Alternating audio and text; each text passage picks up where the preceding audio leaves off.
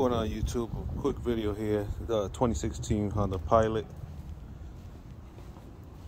Uh, replacing the cabin air filter. Real quick. This is gonna be. I got this part right here on eBay. I think uh, 2016 to 2019. I'm not, if I'm not mistaken. Uh, I bought this for my other cars before. It seems to be like a good quality uh, cabin filter.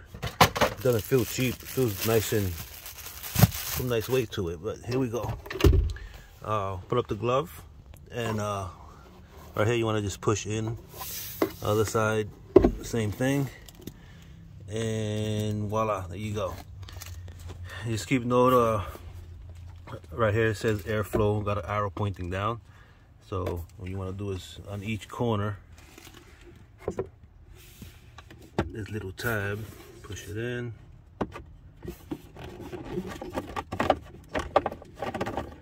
Should come right out. And this doesn't really seem that dirty, but at the same time, this, oh, okay, it is a, it is a Honda. It is a Honda. This is a 2016, but this uh, Pilot has like 61,000 miles. So I've only had it about a month. It looks like somebody replaced the filter. It like somebody replaced it with a, an original Honda filter. Um, should I replace it? Uh, don't think I'm gonna replace this because it doesn't look like it needs to be replaced. doesn't look like it needs to be replaced. You just make sure anyway, if you replace yours, make sure you put those arrows facing down because that's where the airflow goes. Let me switch this this way.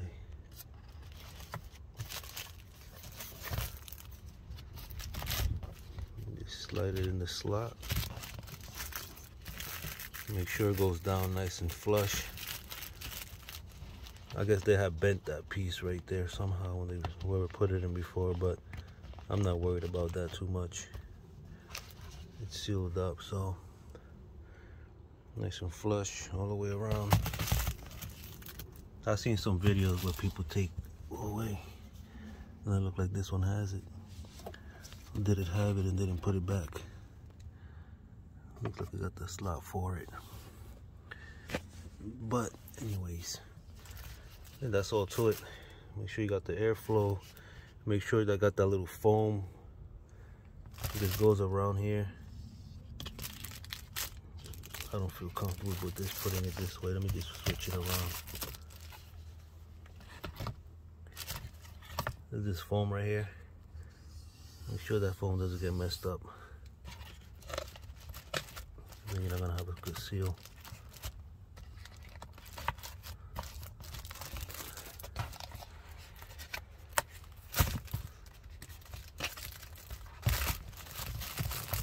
going on here.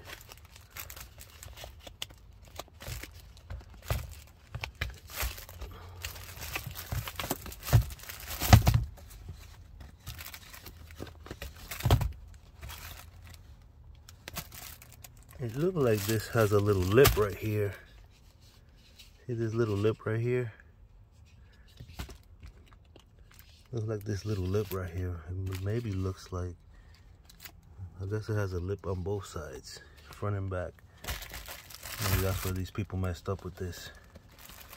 Maybe you have to yeah. Maybe you have to make sure that that first lip piece of the filter goes in right. Know, why does it keep why does it keep buckling up like that?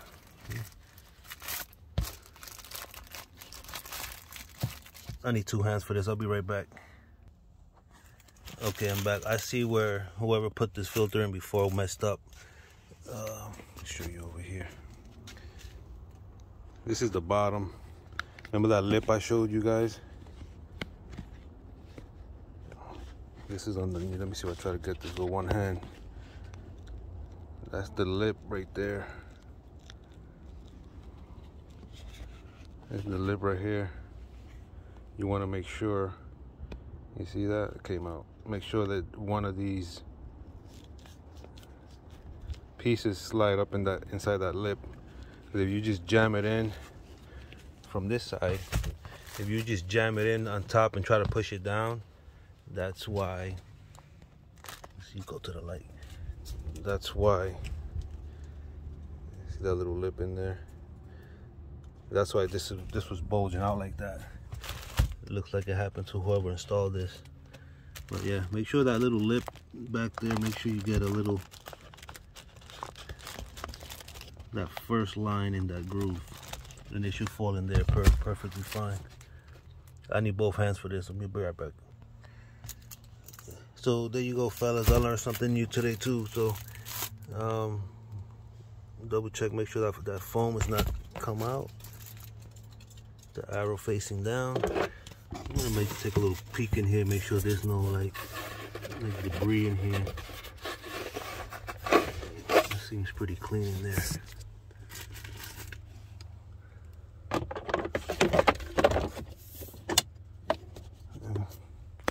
You felt the clip on, so and that's it. Thanks for watching.